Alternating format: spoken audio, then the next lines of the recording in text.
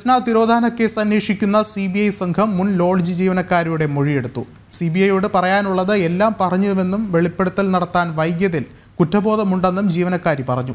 ഇന്നലെ ലോഡ്ജ് ഉടമയുടെ മൊഴി രേഖപ്പെടുത്തിയിരുന്നു. ജസ്ന തിരോധാനവുമായി ബന്ധപ്പെട്ട പുതിയ വെളിപ്പെടുത്തലുകളുടെ അടിസ്ഥാനത്തിലാണ് കേന്ദ്ര അന്വേഷണ ഏജൻസി കഴിഞ്ഞ ദിവസം മുണ്ടക്കയത്തെത്തിയത് ജസ്നയെ കാണാതാവുന്നതിന് ദിവസങ്ങൾക്ക് മുമ്പ് മറ്റൊരു യുവാവിനൊപ്പം ലോഡ്ജിൽ വെച്ച് കണ്ടിരുന്നുവെന്ന് വെളിപ്പെടുത്തിയ മുൻ ലോഡ്ജ് ജീവനക്കാരിയെ ഇന്ന് വിളിച്ചു വരുത്തി മൊഴി രേഖപ്പെടുത്തി. നേരത്തെ തന്നെ ഫോണിലൂടെ ഇവരുമായി സി സംഘം വിവരശേഖരണം നടത്തിയിരുന്നുവെങ്കിലും മൊഴികളിലെ വിശ്വാസ്യത ഉറപ്പിക്കാനാണ് നേരിട്ടുള്ള ചോദ്യം ചെയ്യൽ.